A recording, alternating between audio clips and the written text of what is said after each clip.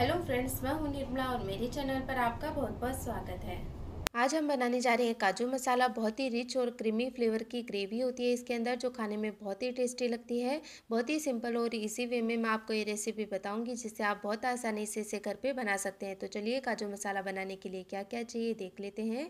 काजू मसाला बनाने के लिए लेंगे एक कप काजू, एक बारीक कटा हुआ प्याज, दो मीडियम साइज़ के कटे हुए टमाटर साथ में लेंगे आधा इंच अदरक का टुकड़ा बारीक कटा हुआ, चार पाँच लहसुन की कलियाँ बारीक कटी हुई, कुछ लेंगे धनिया पत्ती बारीक काट कर साथ ही खरे मसालों में हम लेंगे एक छोटा चम्मच जीरा, एक छोटा टुकड़ा दालचीनी का, दो लौंग और एक छोटी हरी इलायची।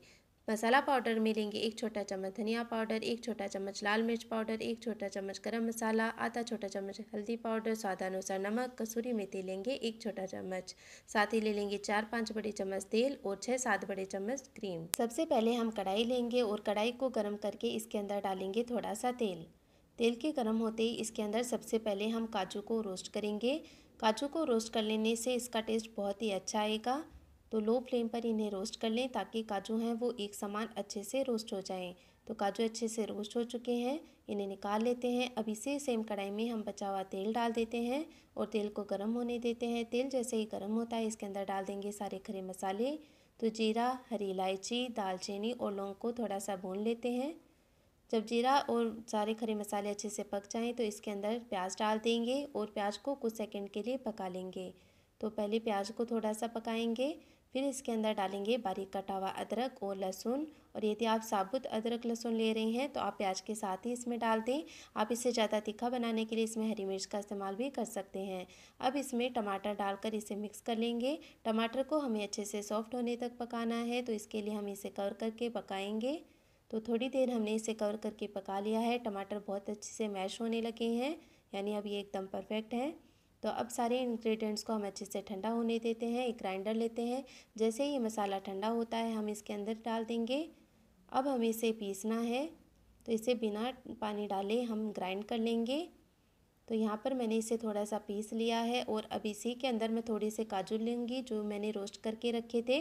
बाकी काजू हम साबुती इस्तेमाल करेंगे।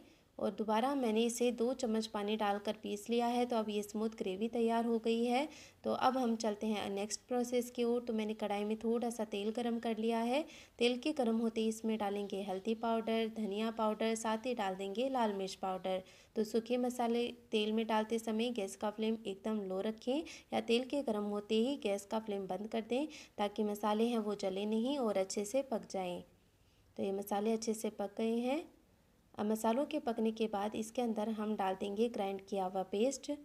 तो जो प्यूरी हमने बना के रखी थी, अब इसे अच्छे से मिक्स करेंगे। अब मसालों को ग्रेवी के अंदर पका लेते हैं एक दो मिनट के लिए, ताकि इसका अच्छा कलर और टेस्ट आए। तो ये एक दो मिनट हम पका लेंगे। इसे लगातार पैंदे में से चलाते हुए पकाएँ, क्योंकि इसमें काजू हैं जो पैंदे में चिपकने लगते हैं। तो आप देख सकते हैं इसका कलर है, वो डार्क हो गया है। अब इसके अंदर हम एक कप पानी डाल देंगे। अब इसे भी मिक्स कर लेंगे।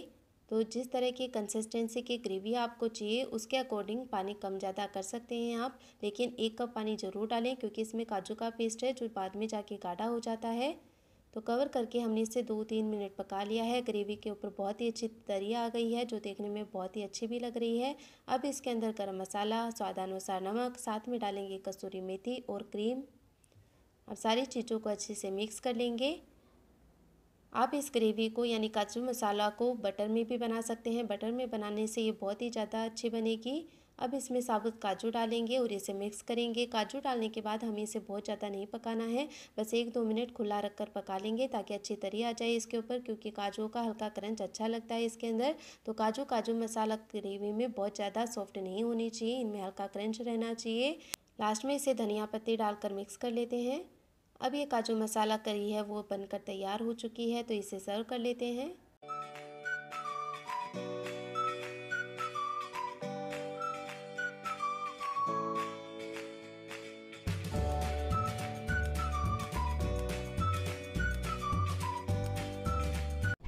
फ्रेंड्स कैसे लगी आज की ये रेसिपी उम्मीद करती हूँ ये रेसिपी आपको बहुत पसंद आएगी। आप एक बार ज़रूर ट्राई करके देखना।